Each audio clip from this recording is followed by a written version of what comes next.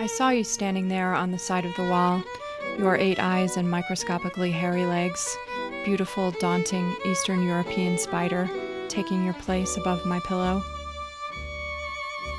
Strange sea creatures in old bottles on shelves, bones and fossils and dissertations in the dusty science library of Karlovy University.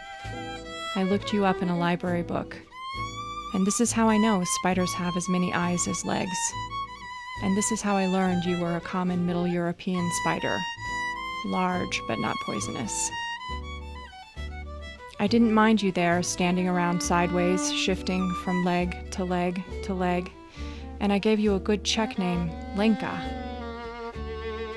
But one day I gently put you in a whiskey glass and carried you away from my bed to another spot in our strange home next to the residence of Jan Votipka, the geology professor at the university who had resourcefully rented me a small room in the bathhouse he built on his property.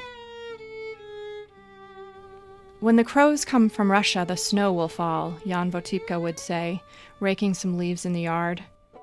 Czech proverbs were the only conversation he offered when I would pass by on my way to the bathhouse, where I would read and roll cigarettes and listen to the BBC and snoop around to see if you had adjusted to your new spot away from my bed.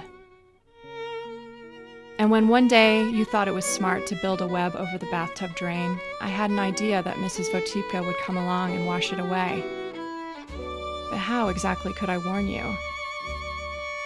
And when one day I came home to see no sign of your elegant stance, no single strand of your silky home across the drain remaining, I racked myself with guilt. Did she wash you away, or did you somehow escape, hiding out on some secret spider ledge inside the drain? I wish I had just gotten used to you in your chosen spot above the bed, shifting there on the side of the wall from leg to leg to leg to leg.